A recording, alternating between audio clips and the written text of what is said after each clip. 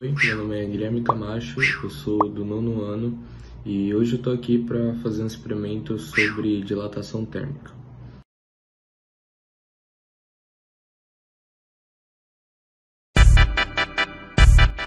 A dilatação térmica nada mais é do que o aumento do volume de um corpo ocasionado pelo aumento de sua temperatura, que causa o aumento no grau de agitação das moléculas e, consequentemente, na distância média entre as mesmas.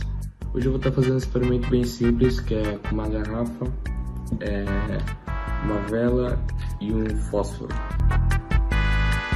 Primeiramente você pega o fósforo e a vela, coloca a vela no prato.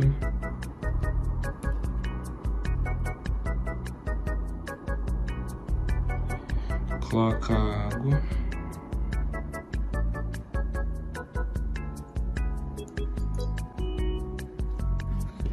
E coloca a garrafa sobre a vela.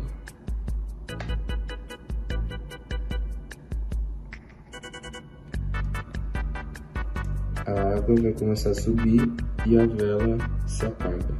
Aqui, ó. A água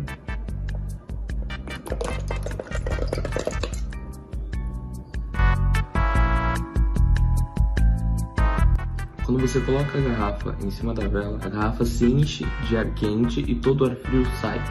E quando ela é colocada em cima da água, por causa da diminuição do oxigênio, a chama da vela vai se apagando lentamente e a temperatura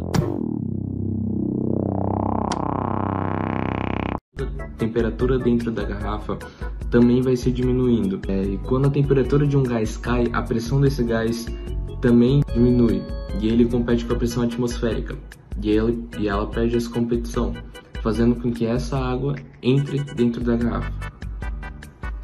É isso, é um experimento bem simples, é só para mostrar um pouco sobre dilatação térmica e o que ela significa, bem resumido.